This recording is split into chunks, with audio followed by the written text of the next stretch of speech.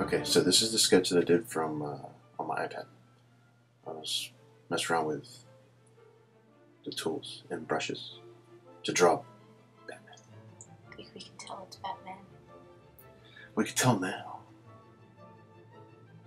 You see, I'm painting his face on a different layer, and then I'm drawing his mask on a layer that's above that. I'm just playing around with the tools, just to see how it works. Looks cool. It's going pretty fast. And we'll call him Bat Hombre. Uh, I don't think he's Hispanic. He might be Spanish. Who knows? Is there a Spanish Batman? Is there like a Mexican Batman? I don't know. Nobody knows who Batman is. But we, but everybody knows except for people, you know. We should know. Is Batman Mexican? That defeats the purpose of having a secret identity. I know, but people should still know what it is. I don't like this part because you can't tell that I'm trying to draw the stubble on his face. I think we can tell now since we can see some, you know, some It's like really light. It looks like I'm not doing anything.